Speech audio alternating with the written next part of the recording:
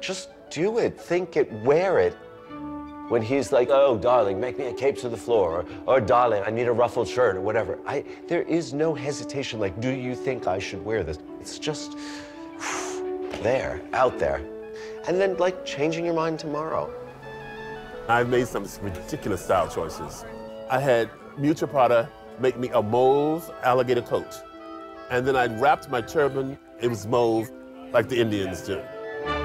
And then when I saw the picture that came on the paper, I thought, this is a big mistake. I remember those disasters. These were not good moments in my wardrobe.